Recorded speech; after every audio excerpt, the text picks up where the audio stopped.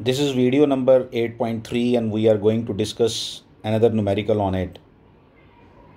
This is these are the numericals with cavities, non-conducting sphere with cavity.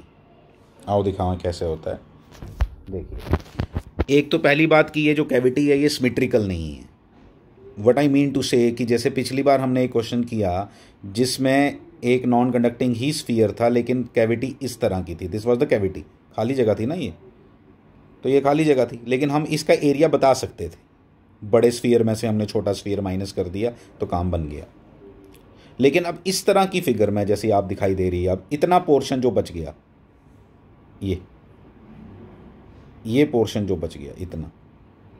In cases में वैसा काम नहीं पल, चल पाएगा। बिल्कुल भी नहीं चल पाएगा। अब ऐसे क्वेश्चंस को जो सिमेट्रिकली अनसिमेट्रिकली प्लेस्ड कैविटीज़ होती हैं जहाँ पे, वहाँ पे हम क्या करते हैं वही देखो, करना क्या है, मैं पहले बता देता हूँ, आपको थोड़ा फिगर से देख लेते हैं। ये बड़े वाले स्फीयर का रेडियस कितना है? फोर आर छोटे वाले स्फीयर का रेडियस कितना है? आर और दोनों के सेंटर्स में डिस्टेंस कितना है? टू आर इतनी इन्फॉर्मेशन आपके पास होनी चाहिए। तभी क्वेश्चन हो पाएगा, ऐसे नहीं हो पाएगा। और आपने इधर से डिस्टेंस है एट आर उधर से आपने क्या कैलकुलेट करना है? इस पॉइंट पी पे आपने आपने इलेक्ट्रिक फ़ील्ड कैलकुलेट करना है। देखो, हमने क्या किया? हमने पूरा स्फीयर मान लिया ये।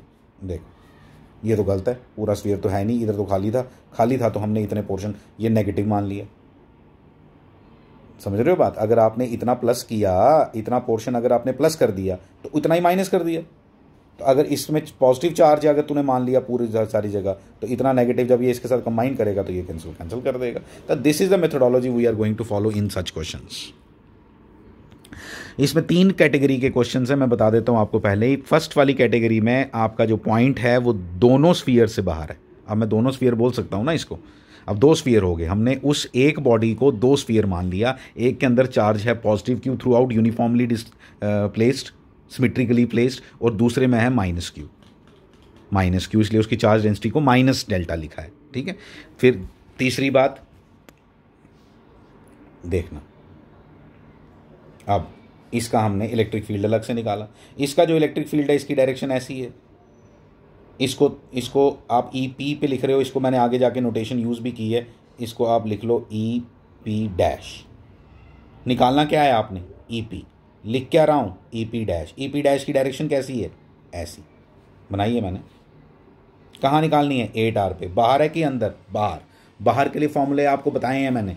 बाहर बाहर के लिए सिंपल फॉर्मूला आपको मालूम है क्या कि लिखा है मैंने? लिखा नहीं लिखा तो ये लो K Q upon R K Q upon R square electric field के लिए। गलत लिखा। गलत लिखा। आर स्क्वेयर ऐसा। पता है आपको आर किसको लिखते हैं? हम आर स्क्वेयर किसको लिखते हैं? आर की वैल्यू यहाँ कितनी गिवन है? एट आर तो इसलिए ये एट आर दिखाई दे रहा है आपको। ये लिख दिया हमने, समझ आ गया हमें। अब क्यू की लैंग्वेज में उसने बात ही नहीं की हुई, उसने बात की हुई है रो की लैंग्वेज में। रो क्या होता है? Coulomb per metre cube. तो किससे मल्टीप्लाई करूँगा तो कूलम बनेगा। मीटर क्यूब से। मीटर क्यूब मतलब क्या? वॉल्यूम। वॉल्यूम कितना है स्फीयर का? Four by three pi R cube. R कितना है इसका? Four R. देखो देखो कैलकुलेशन बड़ी सिंपल है, कुछ नहीं है। ये ये के की जगह ये लिख दिया। के की जगह ये लिख दिया। क्यू की जगह देखो क्या लिखा है? Rho into volume. वॉल्यूम देखो कैसे लिखा है। Four by three pi R cube R कितना है? फोर आर उसका क्यूब सिक्सटी फोर ये सिक्सटी फोर का क्यूब सिक्सटी फोर होता है। ये सिक्सटी फोर सिक्सटी फोर यहाँ से कैंसिल हो जाएँगे। ठीक है? ऊपर से ये फोर पाई और फोर पाई भी कैंसिल हो जाएगा, लेकिन थ्री बचा हुआ है तो थ्री नीचे आ गया तो ये आंसर आ गया। तो electric field due to the whole sphere ये आपने बड़े मज़े से निकाल लिया। फिर आप छोटा होल स्फेयर मतलब जब मैंने पूरा कंसिडर कर लिया। पूरा तो है नहीं। इसका नाम क्या रखा हमने? मैंने क्या नाम रखा है इसका? आप इधर चेंज कर लेना, आप इसको लिख देना। इस पॉइंट को पी नाम दे देना और इसको लिखना ई पी डैश तो ई पी डैश आपने निकाल लिया यहाँ। जिसकी वैल्यू ये है और जिसकी डायरेक्शन ये है। ठीक है? आगे चलें। अब आ गया छोटा स्फीयर वो कितनी दूर है उससे पॉइंट छोटे स्फीयर से कितनी दूर पॉइंट है? छोटे स्फीयर से ये पॉइंट जो है सिक्स आर दूर है। चेक कर लो। चेक कर लो। ये देखो। इन दोनों के बीच का डिस्टेंस कितना है? टू आर है ना? अगर यहाँ से यहाँ तक ये ये डिस्टेंस जो है वो एट आर है तो ये डिस्टेंस कितना होगा? सिक्स आर इसलिए सिक्स आर लिखा हुआ ठीक है? चलें वापस। ठीक है? फिर अब देखो। अब यहाँ पे हमें क्या दिखाई दे रहा है? अब यहाँ पे क्या दिखाई दे रहा है मैं बताता हूँ आपको। ये वाला पॉइंट भी बाहर है इसके लिए। बाहर है, लेकिन इलेक्ट्रिक फ़ील्ड की डायरेक्शन ऐसी क्यों आई? आपको मालूम है ये नेगेटिव चार्ज है। जब इलेक्ट्रिक फ़ील्ड की डायरेक्शन निकालते हैं तो पॉजिटिव चार्ज इमेजिन करते हैं। वहाँ पे पॉजिटिव चार्ज को क्या लग रहा था? रिपल्शन यहाँ क्या लगेगी? अट्रैक्शन क्योंकि ये नेगेटिव चार्ज है। नेगेटिव चार्ज पॉजिटिव चार्ज को अट्रैक्ट करेगा। इलेक्ट्रिक फ़ील्ड की डायरेक्शन नहीं निकालनी आती तो गड़बड़ है बहुत। तो क्या आंसर आएगा इसका? ये लिखा है मैंने। के क्यू अपॉन आर स्क्वेयर ठीक है? अब यहाँ माइनस रो नहीं लिख देना कहीं। क्योंकि डायरेक्शन की बात हम कर चुके हैं सेपरेटली वो जो माइनस रो के कारण डायरेक्शन में चेंज आई, वो it has already been considered मालूम है मुझे ये जो मैंने इलेक्ट्रिक फ़ील्ड का आंसर निकाला लास्ट में, उसकी डायरेक्शन ये वाली है। इसलिए मुझे दोनों को जब मैंने सम करना है, मैंने बेसिकली क्या करना है, दोनों वैक्टर्स को ऐड करना है, लेकिन वो होंगे सब्ट्रैक्ट क्योंकि इन दोनों के बीच में एंगल कितना है? वन डिग्री एक एक एक आया आपका इस तरफ़ और एक आया आपका इस तरफ़। मैं बोल रहा हूँ इन दो वेक्टर्स को ऐड करो। लेकिन वो होंगे सब्ट्रैक्ट ना, बोलते ऐड ही हैं। लेकिन जब वो उल्टे हैं एक दूसरे से तो अपने आप सब्ट्रैक्ट हो जाएँगे। ठीक है? तो यहाँ पे माइनस रो लेने की ज़रूरत नहीं है। फिर मैंने ये क्या देखा?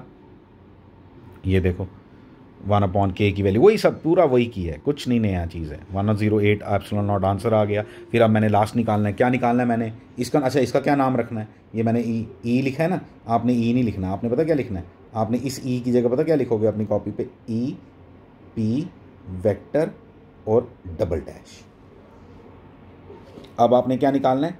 ई पी क्या निकालना net E P will be equal to E P dash minus E P double dash net हो गया। मैंने लिखा है नेट आगे।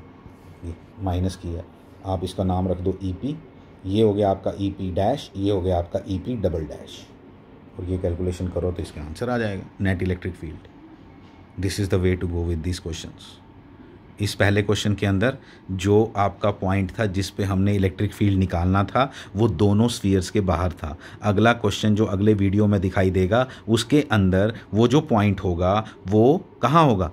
वो एक स्फीयर के अंदर होगा, दूसरे स्फीयर के बाहर होगा। और तीसरा वाला क्वेश्चन क्या होगा? जब दोनों स्फीयर से के अंदर होगा। ठीक है? तो नेक्स्ट क्वेश्चन करेंगे नेक्स्ट वीडियो का वेट करो। Thank you